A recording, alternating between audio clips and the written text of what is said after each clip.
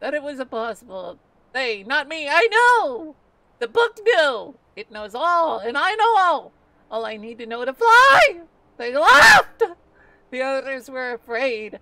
Don't even try, they said. They said it was impossible. They, not me. The book is filled with knowledge. The book fills me with knowledge.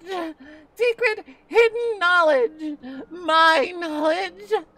I must hide the knowledge. Hide it away deep inside. I will eat the book, a page at a time. Slowly, slowly, I will become one with the knowledge contained on its pages. In its pages! In me! the knowledge of flight. They said it was impossible. Ah!